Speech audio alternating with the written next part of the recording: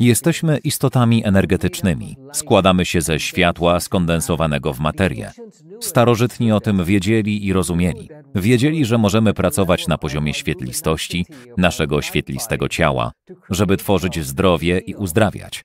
Wiedzieli, że pochodzimy ze światła i że wróciliśmy do światła.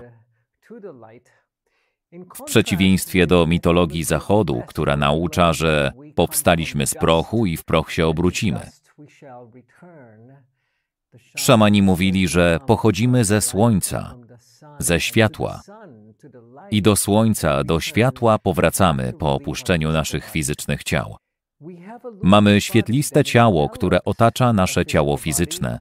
I to działa w ten sam sposób, w jaki działają opiłki żelaza ułożone na kawałku szkła przez magnes. A jeśli pracujemy tylko na poziomie żelaznych opiłków ciała, próbując wyleczyć je przez operacje lub adaptacje, nie zwracając uwagi na pole energetyczne, to pracujemy tylko z dziesięcioma procentami tego, kim jesteśmy. Dołącz i dowiedz się więcej.